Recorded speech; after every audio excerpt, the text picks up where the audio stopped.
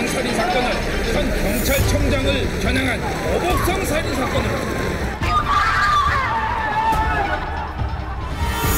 형법 287조 미성년자 약취 유인죄.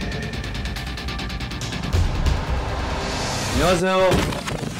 이영구 1961년 1월 18일 태어났어요. 재앙절개. 엄마 아팠어요. 음, 내 머리 커서. 이 상태 왜 이래 이거? 뭐 필요한 게 있어? 이영구 딸 이예슬 보고 싶어요. 어쩔 거예요 뭐?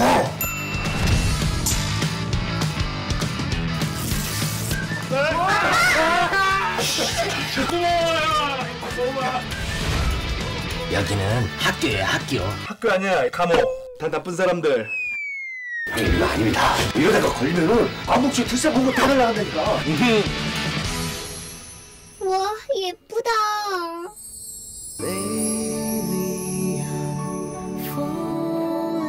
아빠 딸로 태어나서 고맙습니다.